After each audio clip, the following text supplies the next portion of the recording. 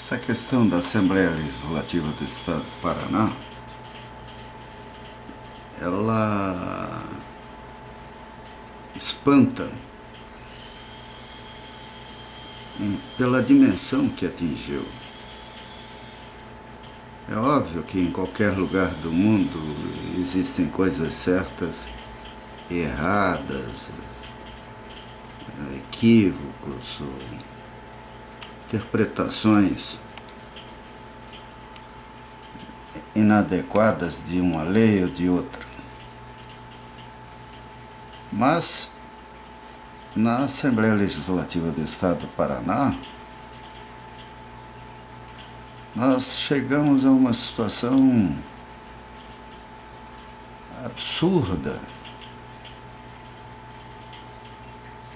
que impressiona porque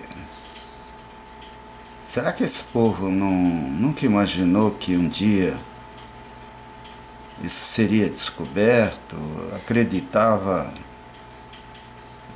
na impunidade permanente?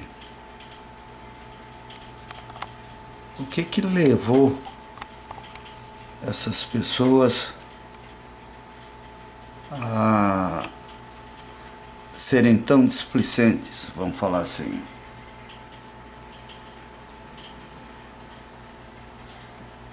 O que impressiona é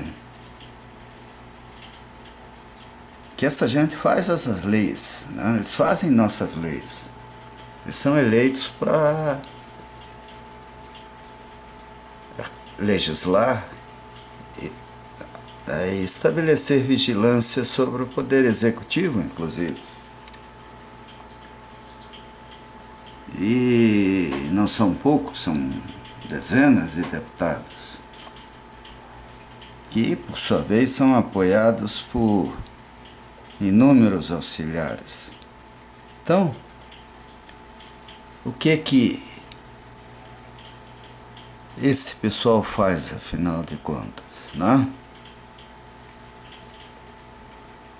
Ah, ainda bem que aos poucos nós vamos vendo a campanha da Gazeta do Povo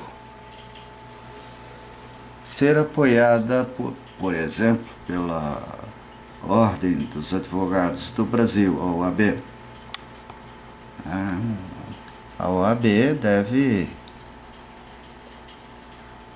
ter é, especialistas, né? deve ter gente capaz, evidentemente, de analisar isso tudo com profundidade.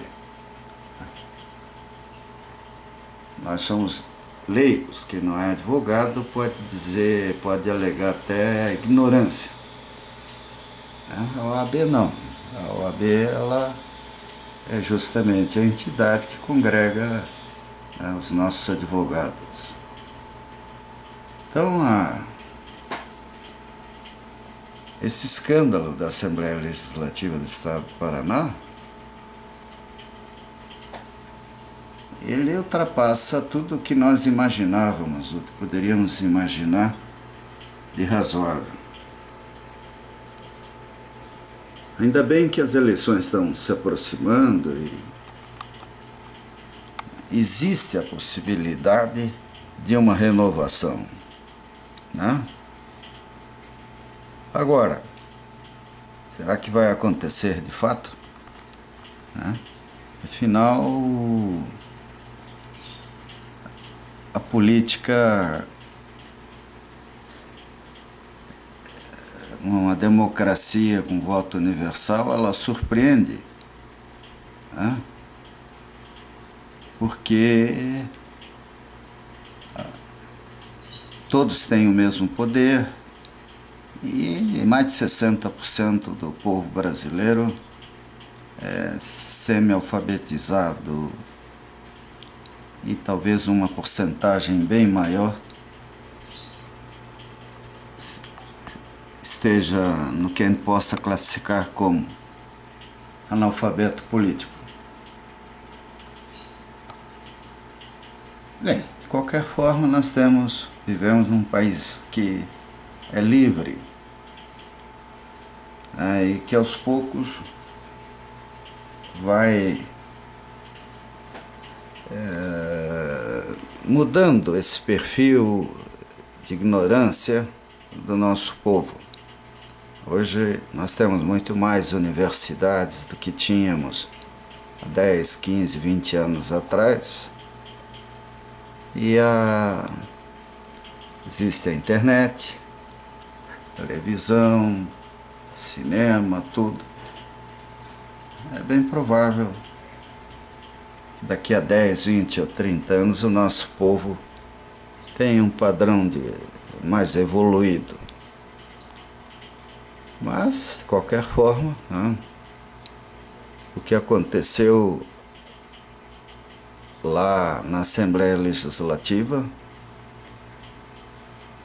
é espantoso. Né?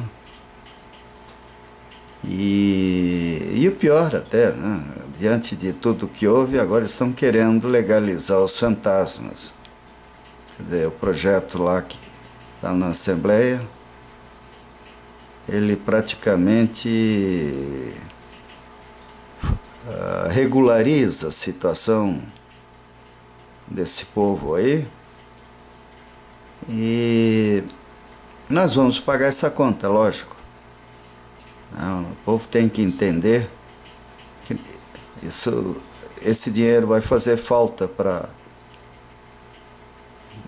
os professores, para as escolas, para as creches, para as crianças, porque os nossos deputados ganham bem, tem motorista, tem carro, ou se não tem motorista, devem ter carro e andam, deve, deveriam estar andando de ônibus, andando a pé. Isso é mais que suficiente para saber como o povo pensa. Não há necessidade de criar uma KGB aí para ter informações. Então esse negócio de agente político aí, ah, até por ironia lembrar como era organizada na União Soviética a estrutura de eh, olheiros, de agentes secretos, etc. É, o comissário do povo. Será que é isso que eles estão querendo? É óbvio que não. É uma.